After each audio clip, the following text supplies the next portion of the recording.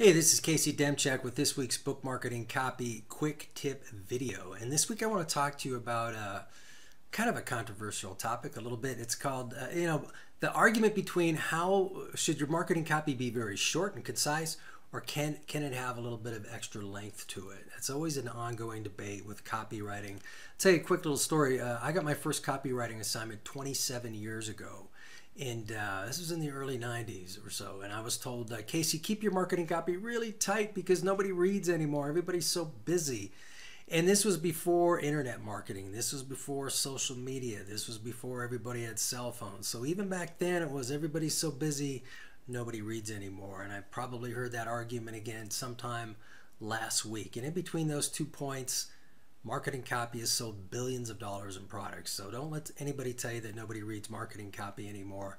It's still very important. Now let's talk about how long your book marketing copy should be. And kind of the funny part of this argument is, is I hear a lot book marketing copy has to be super tight and concise and short because nobody really reads it.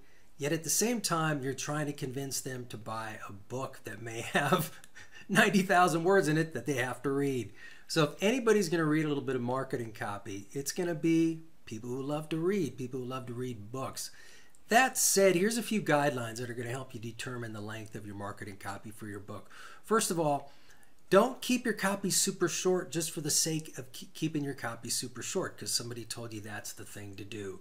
You need to give people the information they need uh, to have so they, they can make an informed buying decision about your book, number one. Number two, um, you have to let people know, uh, give them give them reasons to buy your book right now instead of uh, later or never. So you kind of have to meet that criteria right there, those two points.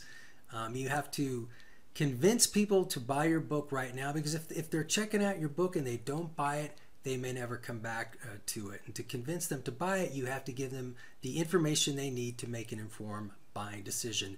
If you can do that with your book, writing very brief copy, great. But in order to do that, if you have to write a little extra copy, go ahead and do that because it doesn't do you any good to write short marketing copy if it doesn't give people uh, enough reasons to buy your book.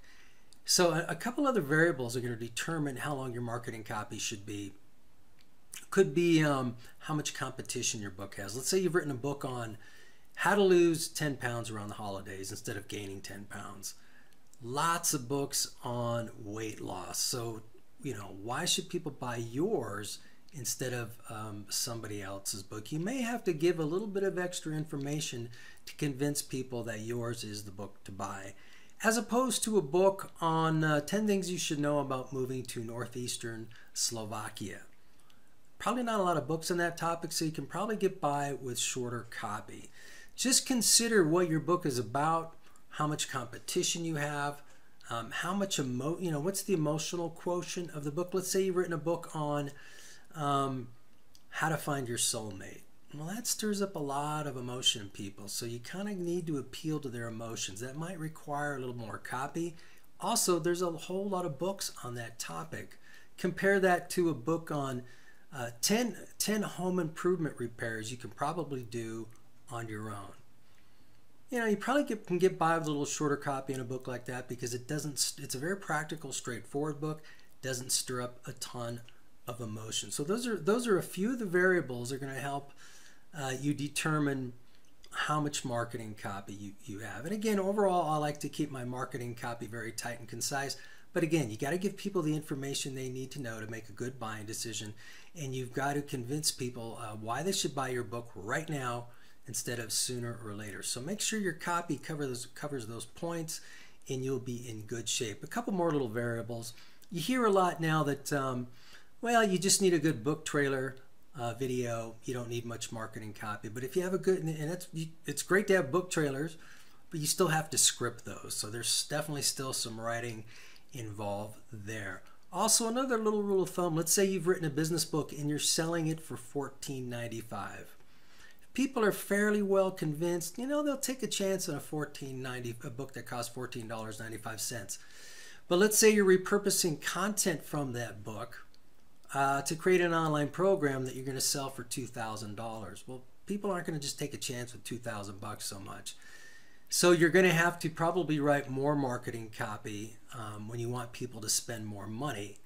Um, because to get people to spend more money, you have to do a little more convincing. To do a little more convincing, you have to write a little more marketing copy.